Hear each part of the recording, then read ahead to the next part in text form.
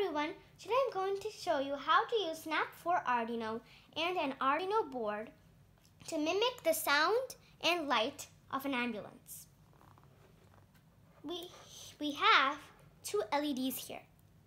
These two LEDs have two pins. One pin is longer than the other. The longer one is positive and the shorter one is negative. Same with the other one too.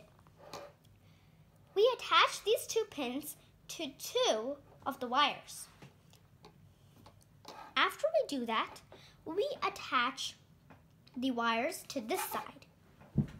We attach it to 6 and 7 right here.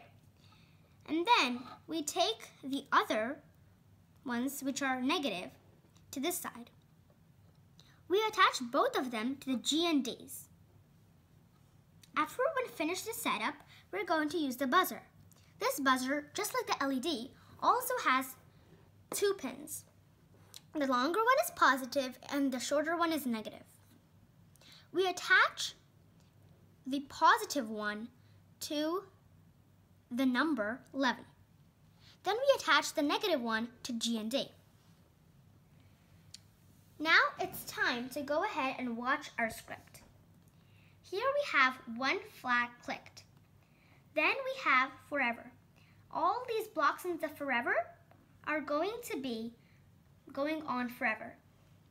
Set digital pin, 6 to cross. That means we attach the 6 to the positive one. And this is not going to work. Then the set digital pin 7 to tick. The digital pin 7 is going to work. Set digital pin 11 to tick. That is our buzzer and that's going to work. And then we're going to wait one second and then we're going to go to this. Set digital pin 6 to tick. That means the 6 is going to be go on.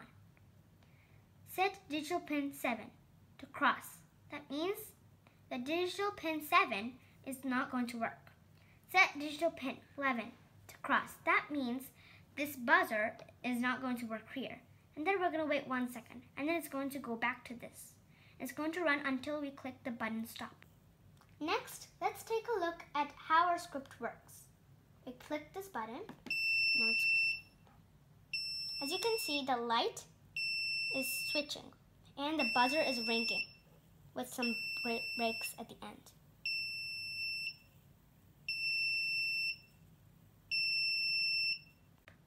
That's all for today. Bye.